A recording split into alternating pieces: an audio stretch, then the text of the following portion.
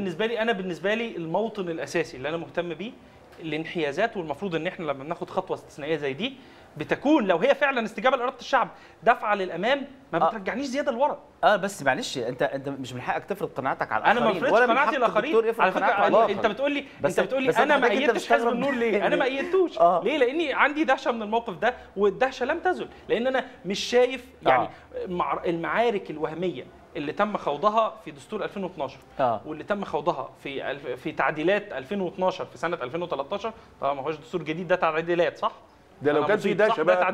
دهشه من موقف آه، حزب القويه ليه بقى؟ معلش أنا ما كنتش عاوز أتجه للأحزاب ليه؟ لأنه أول حزب طالب في مصر بانتخابات مبكرة قبل تمرد وقبل غيره آه صح يعني هم اللي طلبوا كده أصلا صح. آه ثم جت المواقف بعد الرئاسية 3 مبكرة. أغسطس بدأت 3 يوليو بدأت العملية بقى لا ده إحنا كنا عاوزينه يبقى بيتم بطريقة انتخابات مبكرة مش بالعزل والى آخره هذه قصة من حقهم أن يتكلموا فيها لكن ما يجيش النهارده. ما يجيش النهارده بقى مش مسألة آه. متناقض لا، لا. حضرتك دلوقتي آه. بتقولي أنا- مسألة تناقض مسألة في فرق بين إرادة شعبية في مسار ديمقراطي أيوه سياسية جميل بتنزل تضغط جدا أنتم وانقلاب عسكري الرئيس باش في يا دبابه ويمشي باشمهندس بيه أنتوا كنتوا جزء من تمرد. وخرجتوا يوم 30 6 وطلبتوا أول ناس طلبتوا بانتخابات مبكرة للرئيس. حزب النور كان دائما يقول شرعية الرئيس لسنا جزء. من تمرد إحنا. خرجنا 30 6 على دعوتنا يعني أصل- المنفصلة رافضين تدخل العسكريين في السلطة المدنية أو التشريعية ورافضين استمرار الرئيس مرسي جميل جدا. لفشله في إدارة المرحلة جميل. ولعزله باقي الطوائف تمام، تمام. عن المشاركة في الجماعة إيه- الوطنية إحنا بوضوح وكان هذه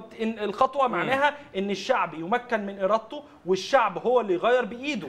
أنا مش أنا الشعب غير بإيده. لا ما أقدرش أقول يعني الشعب اللي غير مرة تسموا 30 يونيو ثورة وبعدين تسموا 30 وبعدين- يونيو موجة ثورية وهذا وبعدين أمر تقولوا. انقلاب بعدين نسألكم تقول لا إحنا قصدنا تلاتة. 3 يوليو انقلاب مش 30 لا يونيو ما ثورة. لا على فكرة اللي حضرتك اللي حضرتك 33 بتسوقه اللي حضرتك بتسوقه ده موقف موقف غير مظبوط. و- 30 و- يونيو حدث منفصل عن 3 يوليو ليه بقى؟ ما أنا 30 ما عشان يونيو كده أنا بقول لك أنت قلت دي ثورة وده انقلاب. 30 يونيو حدث شاركت فيه القوى السياسية والقوى الشعبية تطالب بانتخابات رئاسية مبكرة ونقطة. 3 يوليو حدث ذهبت فيه قوة لم تكن أصلا موجودة في 30 يونيو يعني مثلا حزب النور لم صح. يشارك في 30 يونيو آه. ولم يشارك في أي عمل في الشارع وذهب وكان من المشاركين في 3 يوليو. آه. تمام؟ وظهر خارطة طريق ما هياش اللي طالبها الشعب. بل إن هذا الدستور جه وراح مغير في خريطه الطريق كمان. يعني خريطه الطريق اللي بتتكلم عن انتخابات برلمانية وبعدين رئاسية جاء هذا الدستور ليتركها مسار تفاوض